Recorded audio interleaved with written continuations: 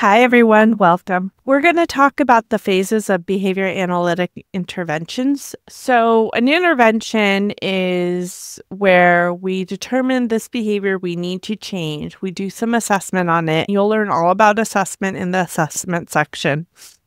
And then we implement an intervention. And this goes through a couple phases. And a lot of this again, if you continue on, this is all your research methods because it's also how we do research, but it's how we're going to kind of determine if our intervention worked or not. I'm going to go over four phases baseline, intervention, generalization, and maintenance. We use line graphs to show this. You'll learn more about that in the graphing section. I kind of feel this section should be more at the end, but I am trying to follow the task list and it is earlier on. So, phase one baseline before intervention. So, before we intervene or try to do anything, we take data on the behavior. And I'm going to have an example with this. So, let's say we have a child in a classroom and this child calls out repeatedly. The teacher's like, it's really hard. Can we do an intervention on that? And you're like, okay, we'll try. And a BCBA supervises you and you do some assessment and you observe this child five days.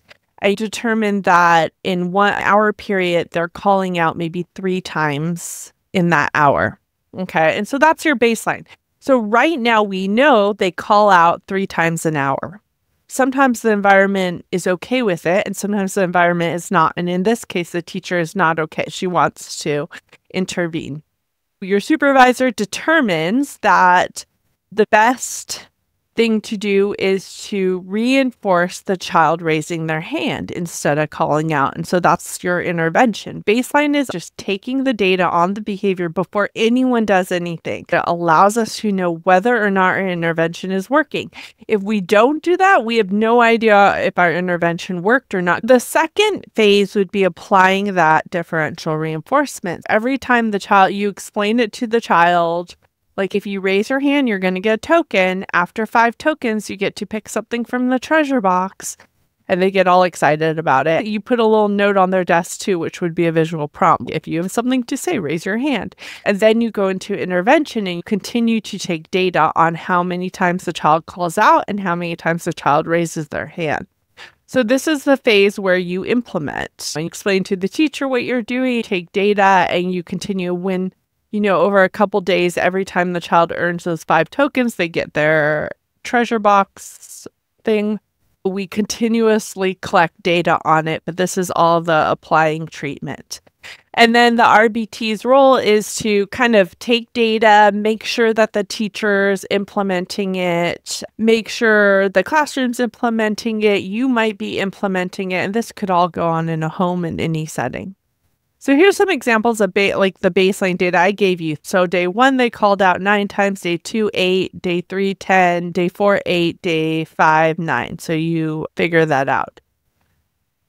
Okay, so then at the end of your intervention, it diminishes to zero. So the kid's no longer screaming out. So it worked. You know that because you took continuous data and you took that baseline data and it was at like we'll say eight or nine call outs and now we're at zero. Maybe they do one one day but zero most days and they were raising their hand the whole time. Yay it worked. Good job. And you proof it worked as well. Generalization is we're gonna move it into a different setting. It depends on what you're doing maybe with different people. If the teacher goes out for a week for some reason and they have a sub, you might go in to make sure that it continues with the sub and doesn't change you might go into the art class or the music class to make sure it's working in that class. So, in generalization, you take data in a different setting to see if it worked and see if we need to intervene now in that setting. If it worked, great. And then you move on to maintenance. For example, my call out doesn't really work at playground. I don't know that he probably in cafeteria he's probably allowed to call out, but we can say this is we can say classroom, library, and home. How many times does that child call out? So you take data in different settings. Our last setting is maintenance. So you go away, but the intervention continues. Maybe you make the tokens harder. So he has to raise his hand all week long to earn his treat at the end of the week. You slowly phase that out. And then you go away for a while and you come back and you take data to make sure it's still happening. You make sure that it continues over time, even when the intervention is reduced or eliminated. So we always come back and do that little maintenance probe. We use intermittent reinforcement. If you go down to less reinforcement, you might incorporate the behaviors into daily routines, encourage independence from prompts and reinforcement. So we're going to remove some of the intervention and then come back and make sure that it's still working. Your role in these processes is baseline, you would be probably collecting data on the behaviors, avoiding doing anything because baseline it's very important that nothing's happening.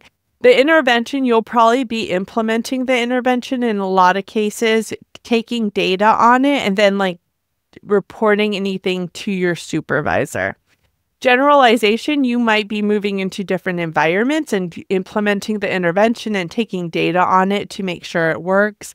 And then maintenance, you would be the one to go back and do that. Your supervisor can do all of this. It will depend on the relationship, your hours working and their hours. They also supervise you through all of that. So you get a lot of instruction and you're told exactly what to do.